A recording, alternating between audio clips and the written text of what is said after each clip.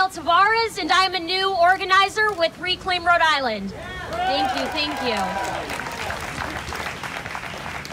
The first thing I learned about the Supreme Court was that their decisions set a precedent. Think of the big ones that just popped into your head. Brown v. Education, Roe v. Wade, Gideon versus Wainwright, the list goes on. The court has made decisions that allowed me to get an education, my mother to learn when she immigrated here from Cape Verde. Those decisions also allowed women access to spaces that repelled their existence and gave us a little bit more agency over our bodies. That's a good thing. The court has also made decisions that legalize gerrymandering, support mass incarceration, and devastate workers' rights. Mm-hmm. Those decisions likely affect you, someone you know, someone you love, or even someone you interact with on a daily basis. Decisions upon decisions that affect the very framework of how we live our lives, dependent on the minds and shoulders of nine individuals. Nine individuals that interpret and vote on the law, but in reality make political decisions hostile to majority public opinion.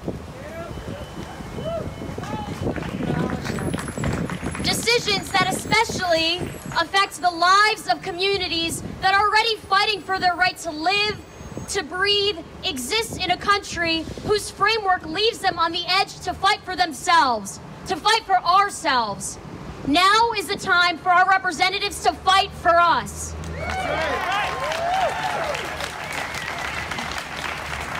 I began this brief speech mentioning precedent. Didn't Republicans, Mitch McConnell, Trump, etc., the whole crew, set the precedent that no Supreme Court vacancies can be filled in an election year? Forget 11 months before an election. How about two?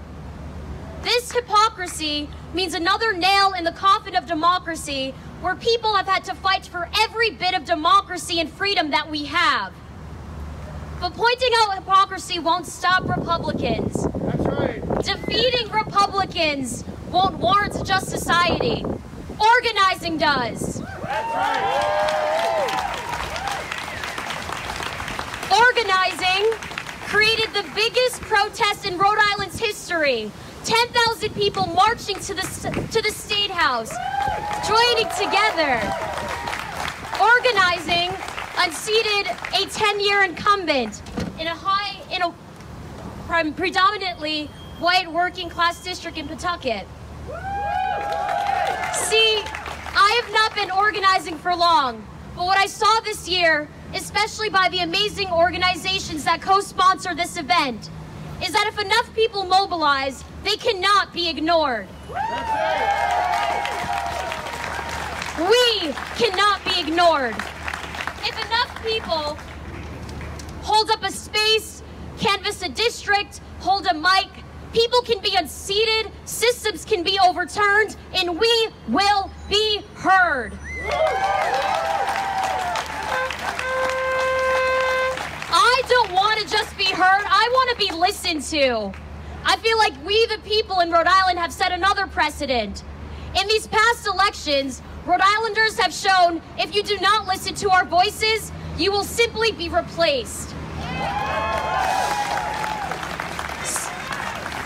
Senator Reed and Senator Whitehouse, stand with your people. Block the Supreme Court confirmations, and maybe the people will let you keep your seats. Listen to those you serve.